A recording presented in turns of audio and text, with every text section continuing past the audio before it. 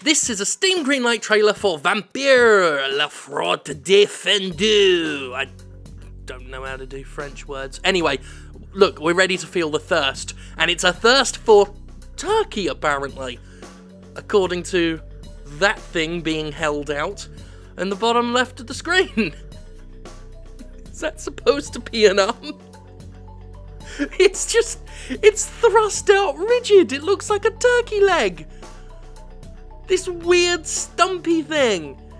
It's like, it's no wonder they've used a photograph of a fist next to it because we wouldn't know otherwise. Oh, it's going through walls, of course. Of course, it would. It's it's thrust out like just straight, like rigor mortis has set in.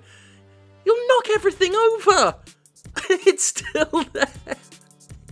That's re- oh no, that's the pits. Oh no.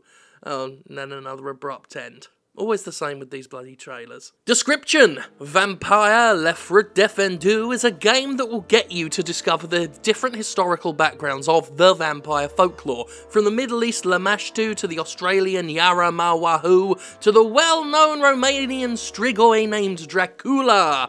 The different origins will be revealed through different plots taking place in Montreal, QC, Canada first, and then offering you to follow the scenarios to whatever destination it leads you. Okay.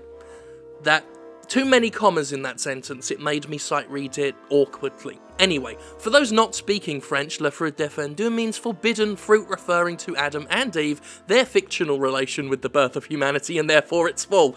Controversial! Straight away decrying the Bible as, as fictional. Uh, I'm not saying I disagree, uh, but I do feel that's a very bold political statement uh, and obviously a theological statement to make in the description of your Greenlight game, but fair enough. Trying to explain how human nature is weak against envy, jealousy, guilt as Cain killed Abel and got cursed for his crime, leading him wandering alone in the dark with that big eye following him forever.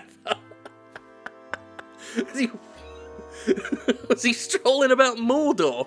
Anyway, all those stories being told over time through generations are a great way to explore beliefs, conflicts, and modern day's societies. It would be a mix of fantasy with a background of history and a pinch of philosophy, like we're Gordon fucking Ramsay. The first step for us will be to complete the Montreal level, refine the gameplay, set up an immersive introduction, etc. And when we reach a point we feel we can develop the story further, we'll focus on developing the other locations. I feel like that's one of the big problems with Greenlight is uh, it, that last paragraph where they clearly haven't made a game yet.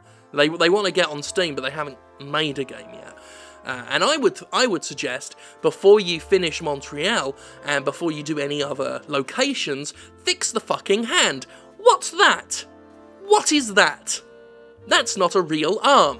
That's not a human arm, it's not a vampire arm, because a vampire arm essentially is the same as a human arm. I don't care if you're undead or not, your arm will get fucking tired if you hold it out like that, even if you don't have a normal real hand at, at the end of it. That is terrible. Fix it! That will be too distracting. It's all I can think about right now. I, can, I think about it so much that I didn't even mention the blatant copying of BioWare's dialogue wheel. That's how much that stumpy arm got in the way of everything else. Fix it, then work on Montreal, then come up with an original dialogue selection system. That'll do.